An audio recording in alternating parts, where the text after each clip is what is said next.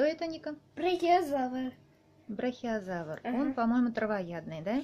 Да, и большой. И, и маленький хвостик. Его маленький хвостик. Он очень добрый, да? Угу.